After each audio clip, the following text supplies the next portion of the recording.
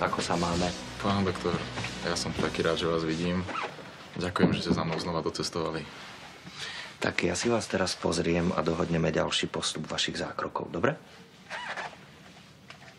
Aha. Zlou plastickou operáciou vznikla porucha dýchania nosom. Má porušenú nosovú priehradku, zapálené viečka a celé je to opuchnuté. Mhm, To spravíme najprv tie oči a nos, ale to obočie, tak to je pekne nakrivo. To kto vám robil Picasso? Srandujem. Nie, ale tomu, tomu, čo vám robil tú blefaroplastiku, tak tomu by som ruky, nohy dolámal. Čau, to. Ahoj, ahoj.